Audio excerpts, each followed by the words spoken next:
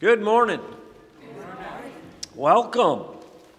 I'd like to welcome folks who are joining us online as well and uh, ask that we share this wave of Christ and greeting in the name of Jesus Christ with one another and wave to that camera where f- folks can see us, greeting them from wherever they are online today. We know you're with us. We've got a number of things happening, refreshments following service, courtesy of Kathy Daniels. Uh, appreciate that. And I'm going to turn things right over to Sharon, who has a word. Oh, there you go. As you noticed on the altar this morning, there's a couple plants. This is from the choir to Scott and Linda for everything you've gone through with us this year. We couldn't do it without either one of you, and we pray and hope that we'll be able to start this up again in September. Amen.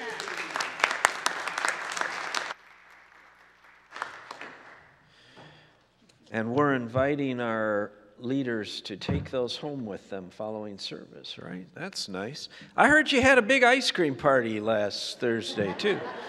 You know, well, that was nice. So we'll look forward to September and appreciate your leadership. Church school today. Uh, we're going to start right at 11 or by 11 and ask that folks understand that. Uh, if you would like to join us up in the fireside room will close at 11:45. I'm committed to help some people in several ministry things today, so need to keep moving. Uh, Forest Glen, one of those activities today, 2 p.m. out at the retirement community. We sing some songs. I take some song sheets. We read some scripture together and pray. So join us at 2 if you'd like out at the Forest Glen um, facility. I'll ask you to look at the activities for the week in your bulletin. And I also have a couple of special notes to add. Some nice things happening. Dowagiac Music in the Park. This is at the library. We say the Library Pavilion. I guess that's what it is, isn't it? Uh, it starts this Thursday, June 13th, you know, with the evening, Thursday evening music groups. This week, it will be a double feature Redbud Ramblers, and, if I may say, the real reason I want to get behind this is the Dowagiac Union High School Chamber Choir. Amen. So Thursday, the Ramblers go first, then Hunter, and then uh, your your musicians. We're first. We're opening for. Oh, excuse me. Okay. So 7:30 then we want to be there right away to catch the choir and we've got some uh, young people related grandchildren uh, and relatives of those of us here. So if you want to support the young folks and Hunter be there under the pavilion or next to the pavilion at 7:30 Thursday. Uh, food trucks start at 6 so you could get a get your meal. Music 7:30. A special announcement for this week: Becky Peters will be out of the office this week. She and Dan will be making a quick visit to see Jared, uh, serving in the Marine Corps in North Carolina. And you can contact Becky by email or by her cell phone number if you have it. What this means is Ordinarily, I'm in the office Tuesday and Wednesday, 9 to noon, each of those two days, and then Becky has the more full schedule in the office. I will be committed to be here Tuesday, 9 to noon, Wednesday, 9 to noon. I can't cover all the other hours because I need to be out working with us and for us, but you can count on me to be here Tuesday morning, 9 to noon, Wednesday morning, 9 to noon. And then We'd like to share a report before Bob uh, gets us into the formal leadership of worship time.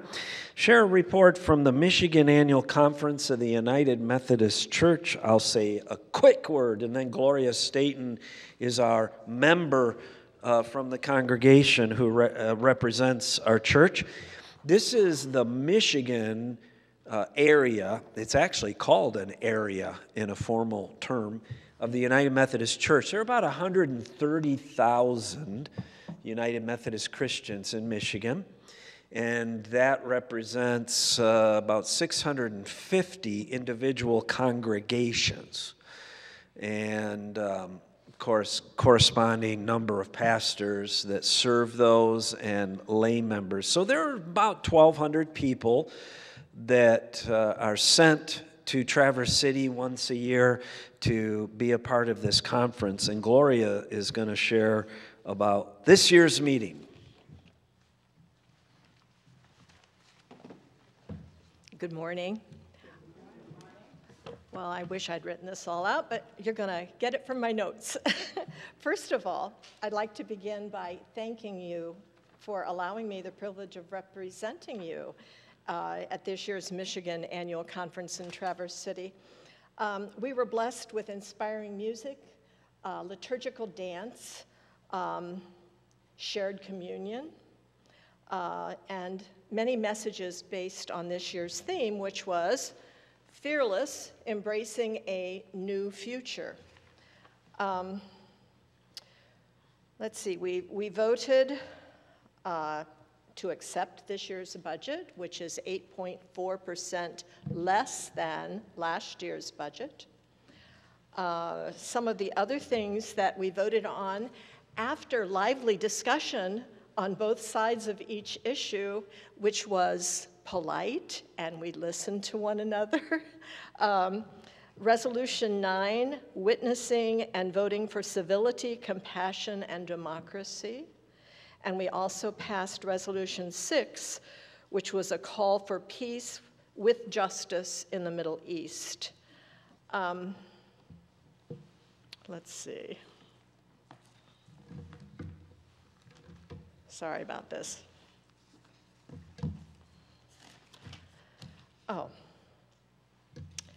Um, if you have an opportunity there is a summary video that is on the Michigan uh, conference site uh, by um, Bishop Bard, and it's absolutely excellent. A uh, couple of the things he said was that uh, the United Methodist Church has become more spacious because we made space for more persons to participate um, in the life and mission of our church. Uh, it's time to renew ourselves with fearlessness and have the courage to take risks for missions. Uh, and then we had speakers who talked about um, a fresh Pentecost in the Methodist Church, uh, sounding off of alarms, she said, um, creating confusion and concern. And thus, the bishop and the other speakers encouraged us to go through the experience, but to be fearless, which just means less fear. Uh, and I think during Sunday school I can talk more about this, but uh, he referred to, I, I'm trying to, oh, this is how we vote we hold these up, and the bishop does an amazing job of counting. He just uh, estimates, and he's pretty amazing. Um, the first opening sermon by the bishop was called Pantophobia, and that is the fear of everything as explained by Lucy to Charlie Brown. so, on that, I think I will close and perhaps talk to you during Sunday school.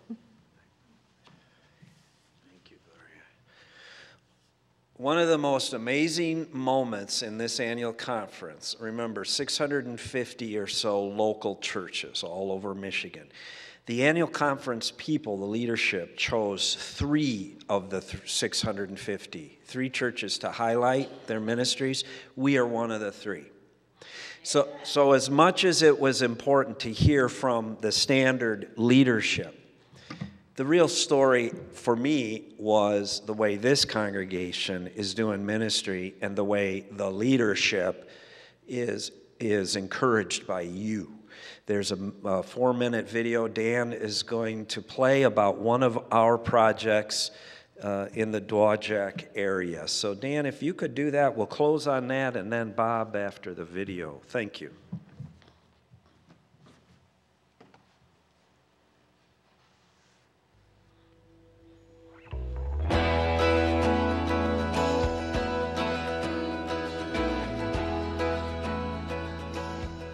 In the heart of Dowagiac, Michigan, a local United Methodist church is on a journey to change lives in their community during the season of Lent. Reverend Dr. Christopher Momany and his congregation felt a need to engage with communities in their region, so they offered a Lenten book study at their local library based on his recently published book, Compelling Lives The Story of Five People of the Broader Methodist Movement Who Stood Up for Human Dignity simply doing it in the library sends a message that our congregation is engaged in the community at large, that we feel that we are members with everyone else who is a member of this community. It gives us a chance to have people both from the congregation and others just from the community to come be a part of things.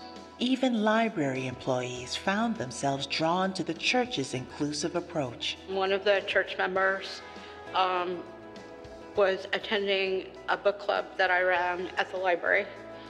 And um, at that point, I wasn't going to church. I was a Christian, but I had a lot of church wounding, and um, so I wasn't currently attending. And Roberta was actually talking about church and God and everything. And I kind of gave her a little bit of a hard time. And I asked her some hard questions. And she answered in a very loving manner. And she says, But you know what? Let me check with my pastor and I will get back with you.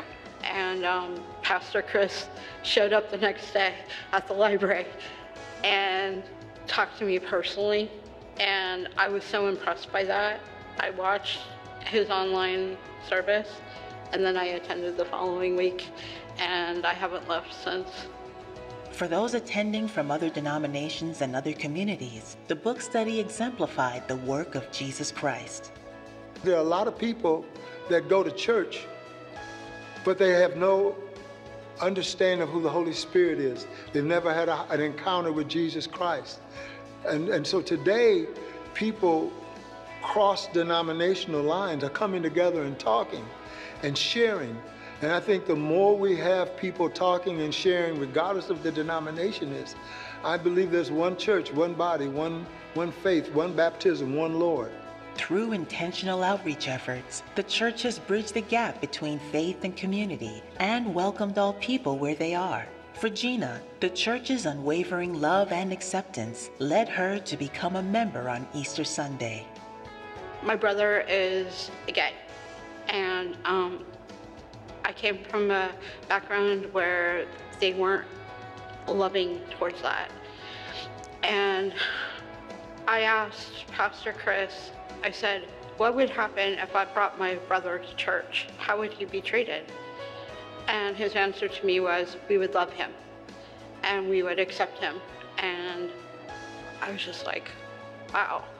And I think what what Chris has done is open the door for a lot of people to come and fellowship and harmony. That's kind of what I like about what's going on here.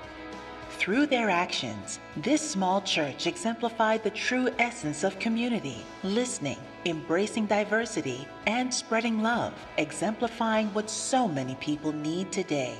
Find what needs to be done and do it for Jesus and the kingdom.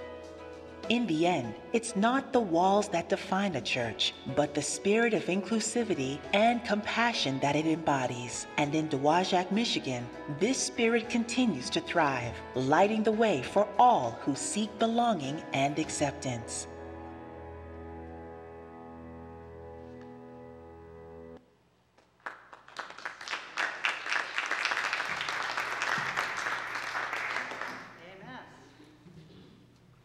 Well, good morning, everyone. Gloria mentioned something about litur- liturgical dance. Is that what you called it? Liturgical. I hope you practiced. And that's not the liturgist, right? Uh, I'm just double checking. There will be no, there will be no dancing this morning. Please stand and join me in the call to worship. We will be reading this responsively. Eternal God, you gave to your apostles many excellent gifts. Through the Spirit, you have granted wisdom, knowledge, faith, healing, miracles, prophecy, administration, leadership, and help. For all these gifts given and used in your name, we give thanks, O God. Come upon us gathered here, call and equip us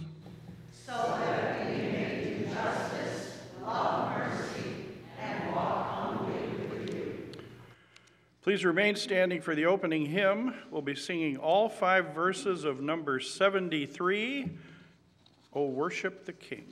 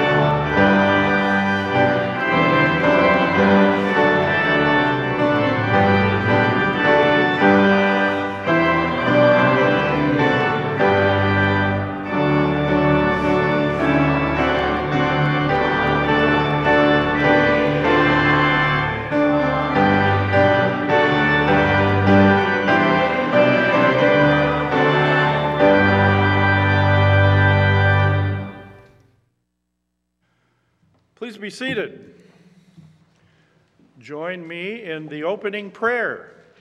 God is calling, and we will read this in unison.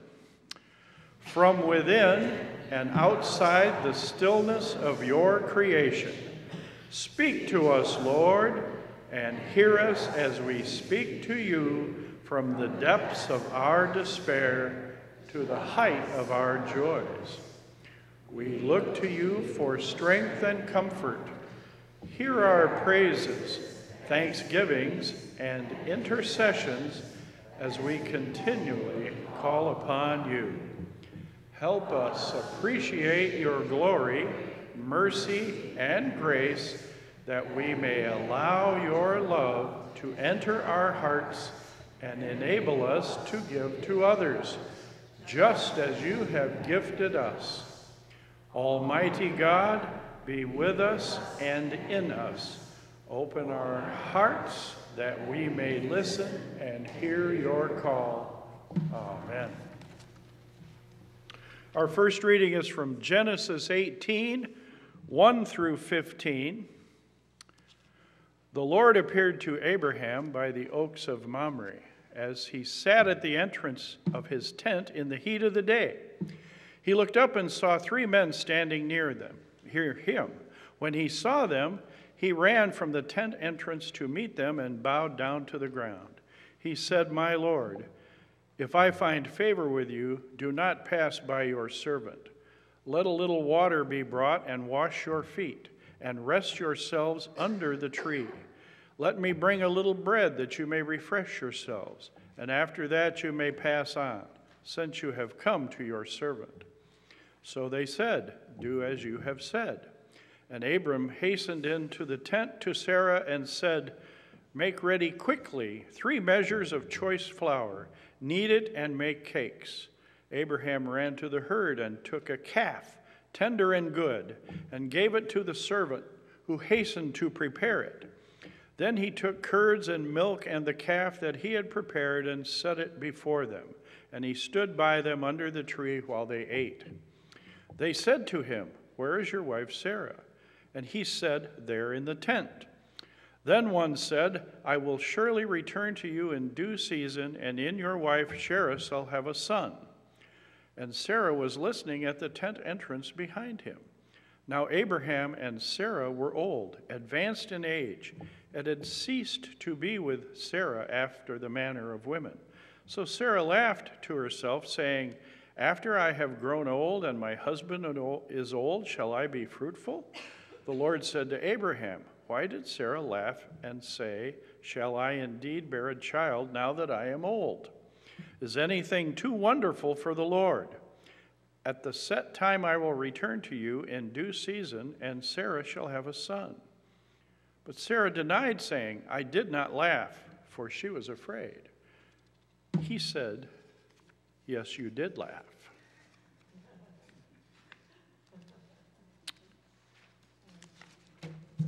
Our second reading is Ephesians 4 9 through 13. When it says he ascended, what does it mean but that he also uh, descended into the lower parts of the earth? He who descended is the same one who ascended far above the heavens, so that he might fill all things.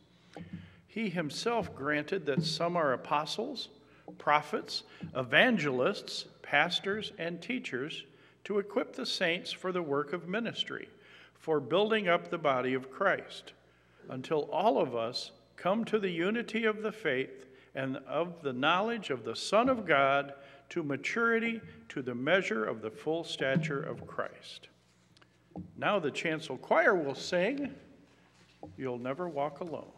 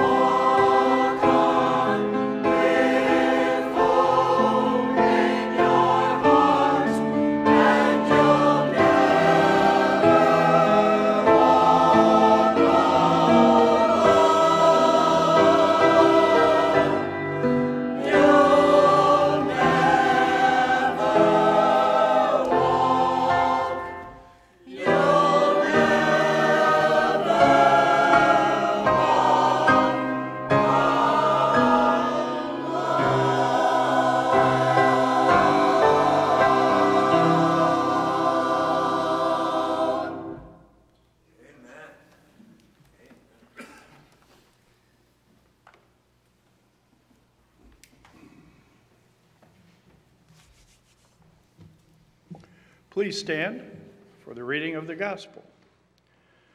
From Matthew 4 18 through 22.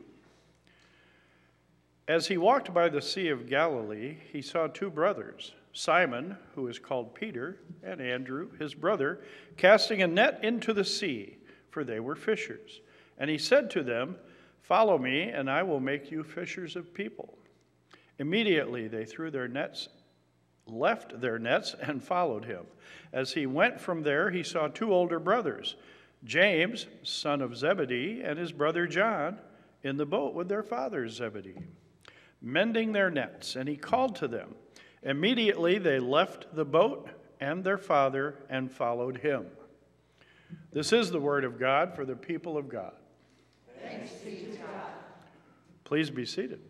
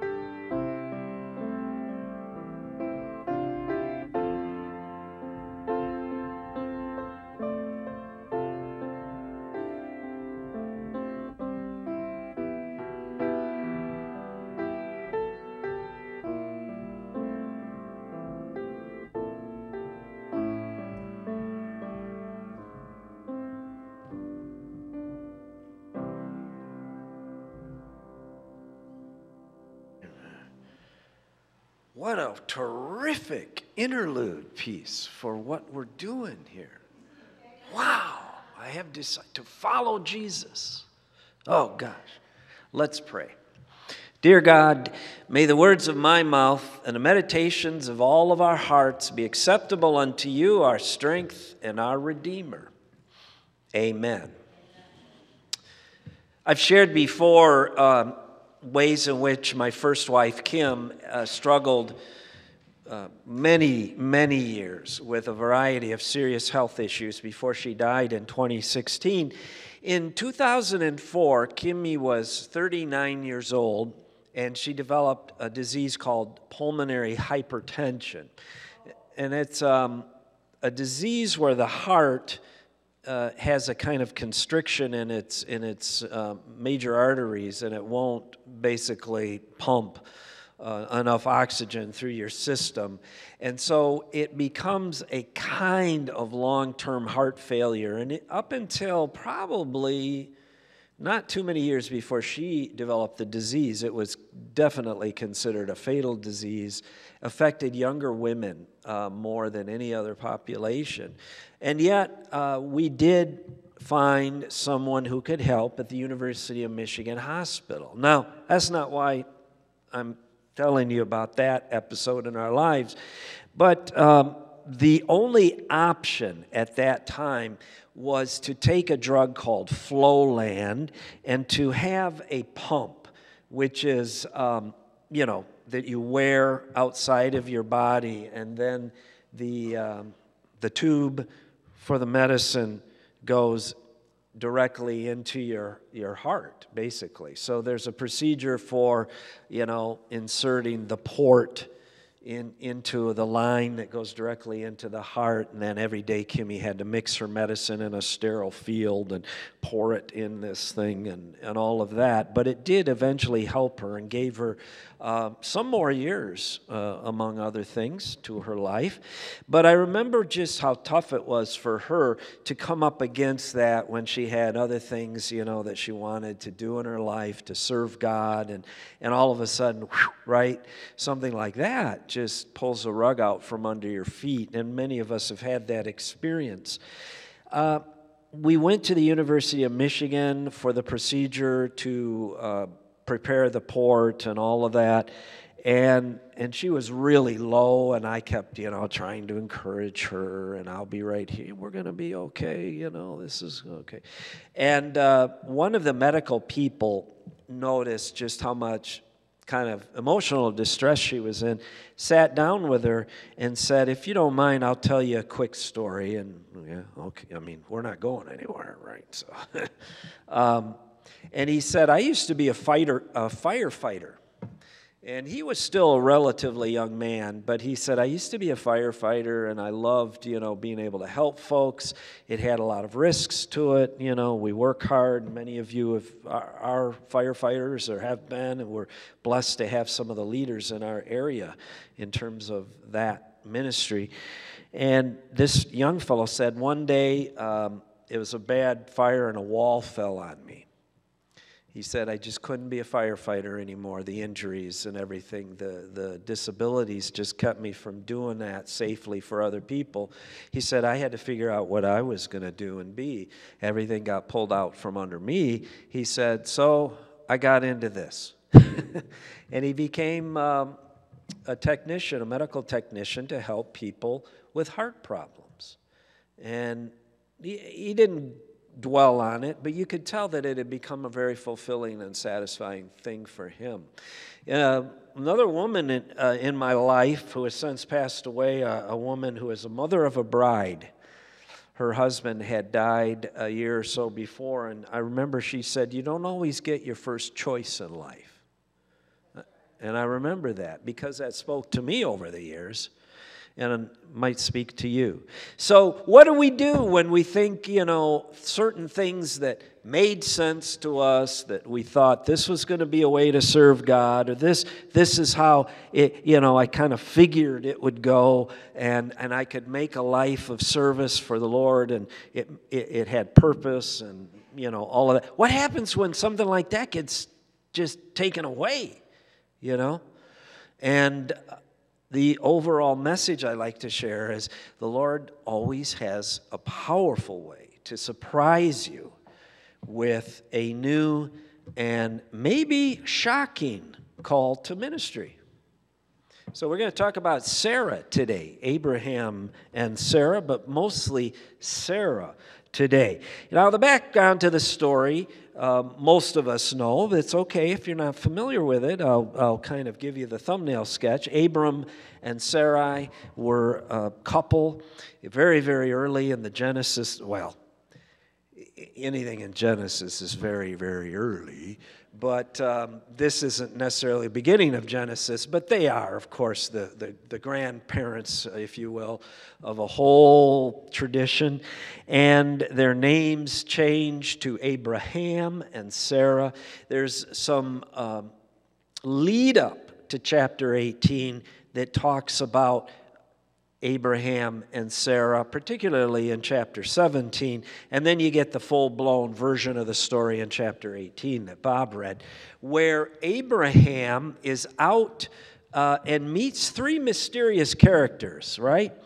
And he provides for them, and Sarah provides for them in hospitality, food preparation, and all of this. And we're, you know, scholars like to shut the door in a closed room and argue over whether one of the characters represented God or God was in a mix of all three of them. And, you know, you can find texts that, anyway, God was in that mix of three people, right? This was God showing up in, in some kind of human form uh, before the days of Jesus, of course. And lo and behold, God promises that Sarah will have a child. Now, that's not too shocking unless you're 90 years old, right?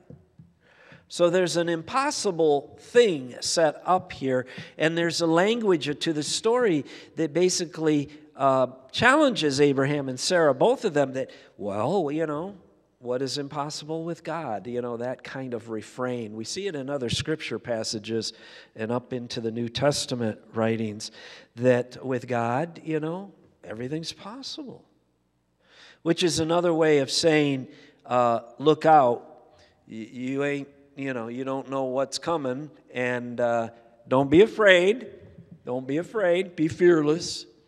There's something good that God can do in your life at whatever stage, right? So I wanted us to make note of the role of hospitality when these three folks came around. There was a kind of preparation and openness. So, how do you prepare your heart, right, to receive the wild, ridiculous promise of ministry in your life? Pre- preparation is important. And then, of course, there is this theme of the blessing. You know, the child is, is traditionally understood as a blessing in Hebrew tradition and in many modern traditions. A child is a blessing. But the blessing comes as a shock, right? Have you ever been blessed and you wondered, mm, maybe somebody else can be blessed next time? Right? Okay. But it is a blessing, it's a shocking blessing. So let me move now to what I would call a contrast between assumptions in our lives how God's going to work, how God's going to call us, what God's going to figure out, you know, and get into our heads and hearts. Assumptions and the blessing, the promise. First of all, of course, there is the age of Abraham and Sarah, right? Uh, I speak only with a little bit of metaphorical language when I say they have got to be the oldest parents of a newborn, right, that you could ever consider.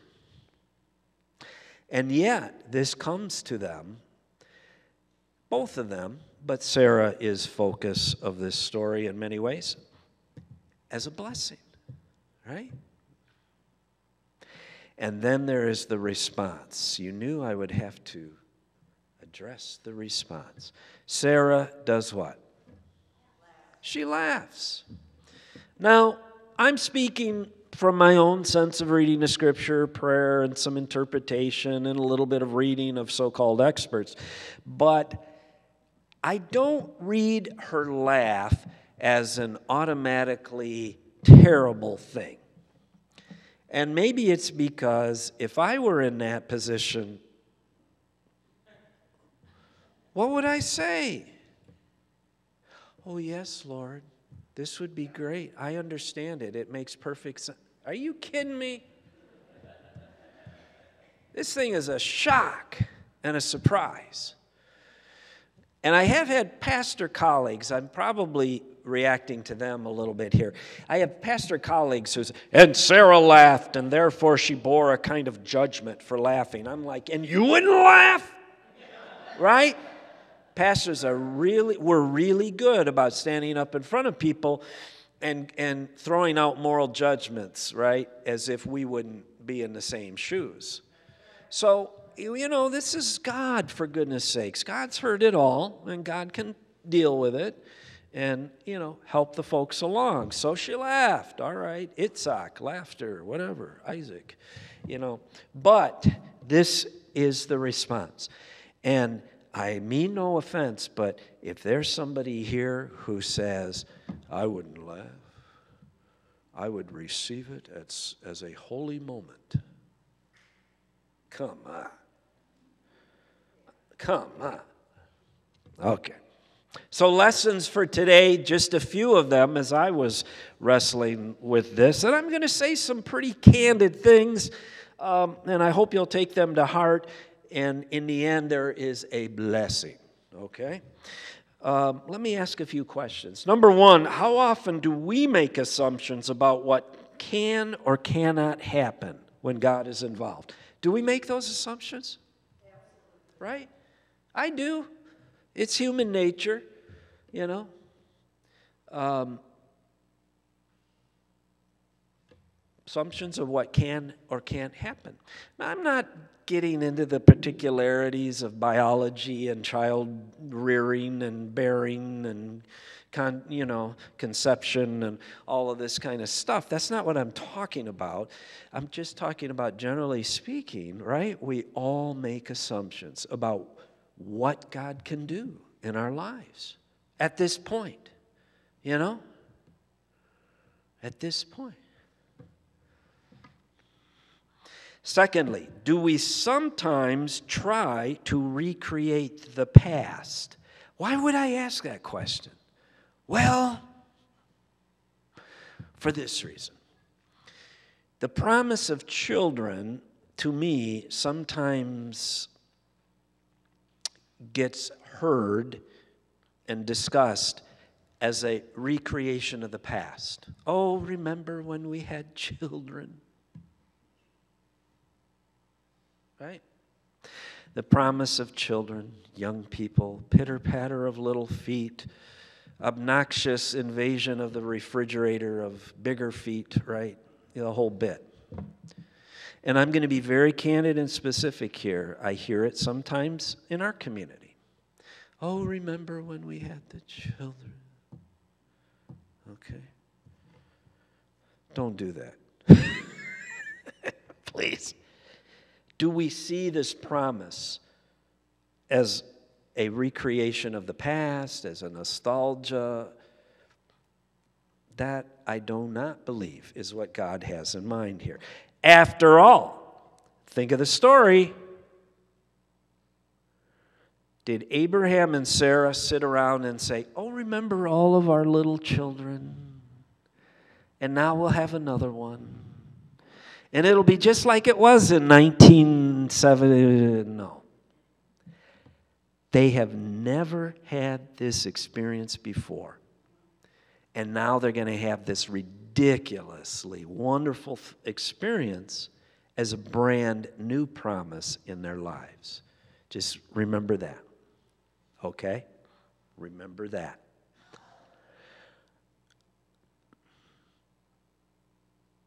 God does not call us to live in the past. I'm a historian. Okay, I don't say that lightly.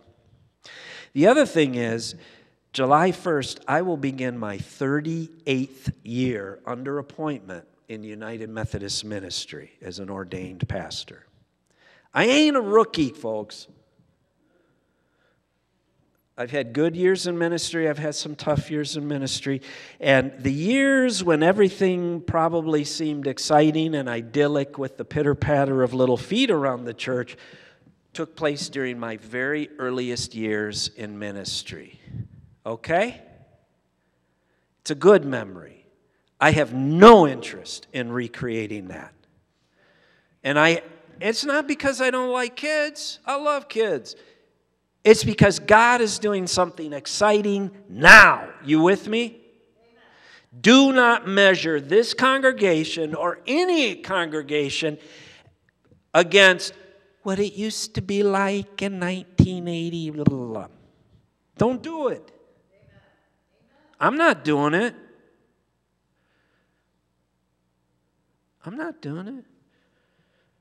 There's too much excitement going on right now and for our future that may include young people, I hope to goodness, but every time an older church person talks about recruiting younger people to a congregation, what they're saying is, I want that individual to recreate my memory and my agenda. It's disrespectful to the people themselves. Yes, I said that. Love people for who they are. Little ones, not so little ones, getting on ones, older ones. Younger people do not exist to recreate our glory days.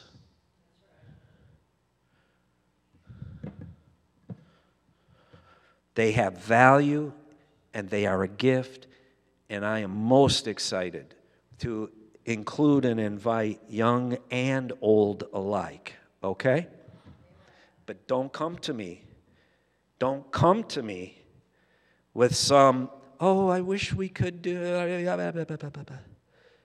Because in focusing on that as a memory, we miss the call of God today and tomorrow. Amen?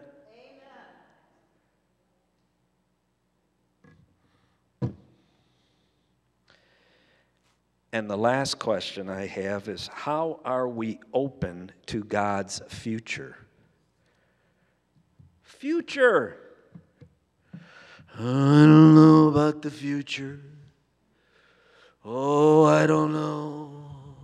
Look, the church doesn't need us to be Eeyore. Remember Eeyore? Eeyore, the donkey, and the Winnie the Pooh series. Uh-huh. Eh. Doesn't mean we're always smiley and happy. I get teased for sometimes not being the most outwardly exuberant person. I accept it. I can be a little melancholy. We all can. We're all different, right? But the future out of the present is an exciting time to live as part of the gospel. You with me?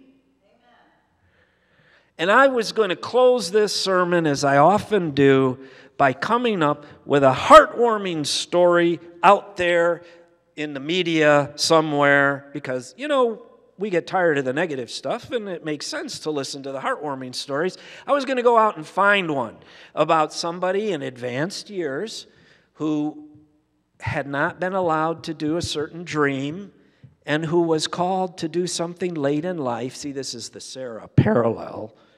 And was doing wonderful, exciting, worthwhile, purposeful ministry. I was going to come in with some story about, you know, Gladys McGillicuddy from Buffalo Breath, Iowa, and all of this. But you know, that would have been insulting of me. You don't need me to bring in stories about people who have gone through highs and lows and ups and downs and heartbreak and have had to change plans because you are those people. And you're doing some of the most exciting ministry I've ever seen before in my life. Seriously, don't you realize how cool you are? Right? That's the promissory side of all this. And I know sometimes it seems like God's got a veil over what we individually should be doing right now or could be doing. And it gets frustrating as we go through life and make changes and, and retire or not retire or come up against tragic, you know, difficult circumstances of illness. But I got to tell you, I could not tell a story about people who have long life experience dealing with adversity doing exciting things that came as ridiculous callings, wonderfully ridiculous. I couldn't do that any better than I can right here in this congregation in Dowagiac, Michigan. I can't. And I'm not just trying to blow a warm and fuzzy, you know, encouragement at you. That's based in what I believe to be the truth. The truth, folks. The truth. And that's why my take when I come back from something like the Michigan Conference of the United Methodist Church, which was really a good meeting as far as uh, getting along and hearing one another. 1,200 people. When I come back, my focus isn't, oh, I wish we could be like that. Oh, I wish we were like. I come back saying, huh, there's a reason out of 650 congregations, they chose three to have videos. And there's a reason you are one of them, with all of our imperfections and struggles. It's because I don't go there to get inspired, folks. I stay here to be inspired. That is a fact. No disrespect intended. And when they say, wow, we want to do a video on this stuff in Dowagiac, I say, well, you should. no. I'm grateful. It's nice they support us and they send a whole crew down. But the fact of the matter is, exciting ministry is happening here with people who are 25, 29, 35, 39, 40, 50, 60, 70, 80, in their 90s. Right here. Right? That is the Sarah story.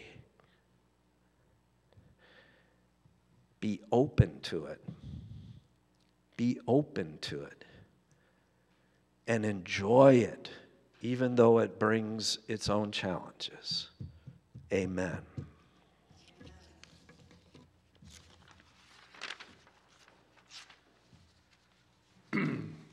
Please stand for the hymn of response. Jesus calls us, number 398 in the hymnal, all five verses.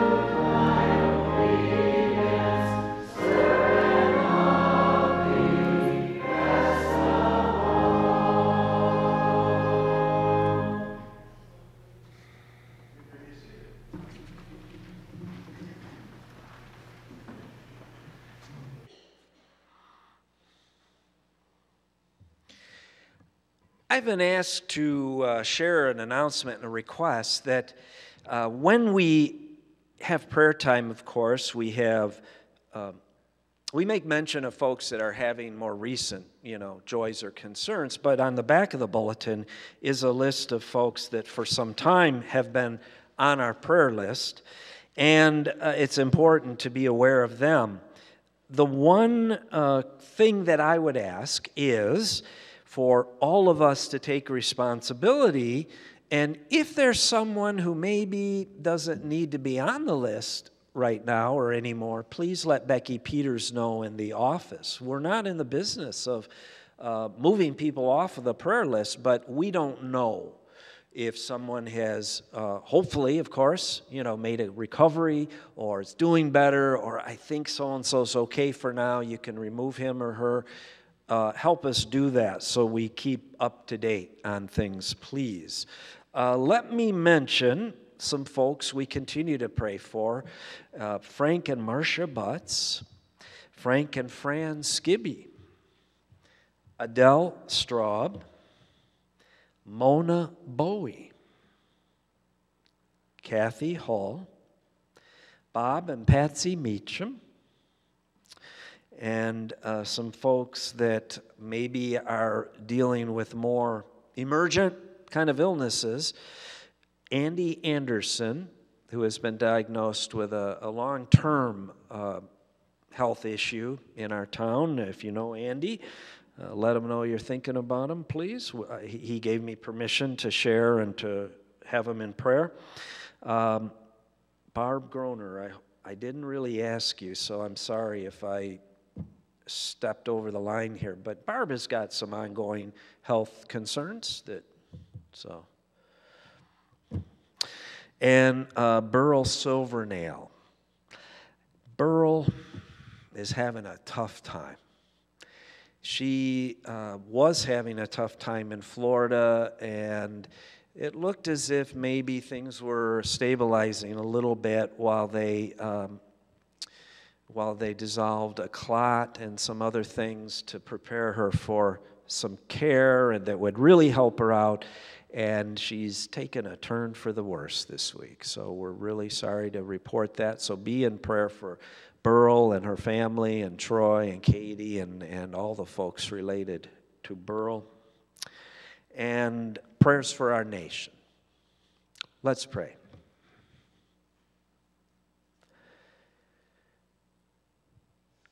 Holy Lord God, move among us that as we face the, the struggle and the pain and the grief of so many things, that we may hold to your promise. That whether or not life delivers first choices or second choices or third or fourth or fifth or sixth or seventh choices, that you have an important call for us. Let us open ourselves to that, dear God, and move us to be in ministry with those named and those we are not able to name. We ask this in the name of Jesus our Lord, who taught us to pray. Our Father, who art in heaven, hallowed be thy name. Thy kingdom come, thy will be done on earth as it is now. Give us this day our daily bread and forgive us our trespasses as we forgive those who trespass against us. And lead us not into temptation, but deliver us from evil. For thine is the kingdom, and the power, and the glory forever. Amen.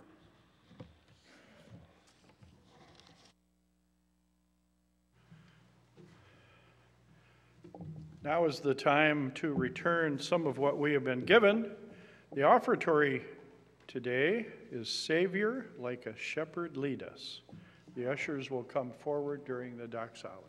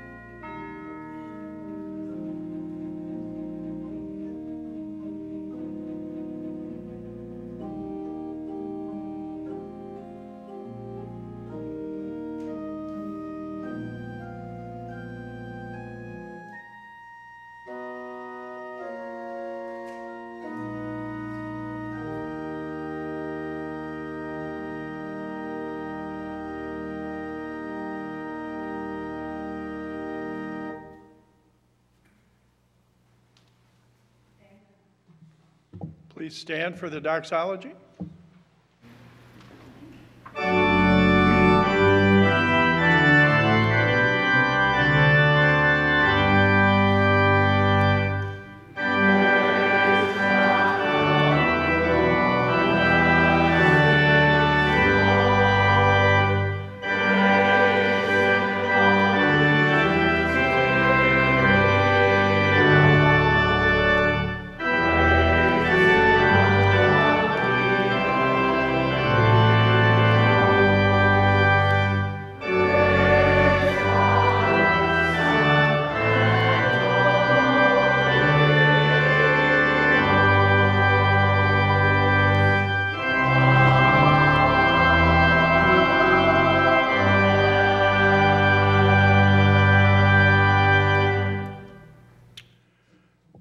Blessed are you, Lord, God of all creation.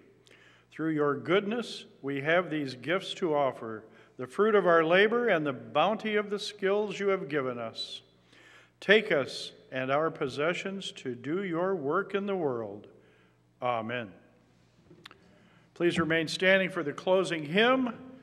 Here I am, Lord, number 593. We will sing all three verses.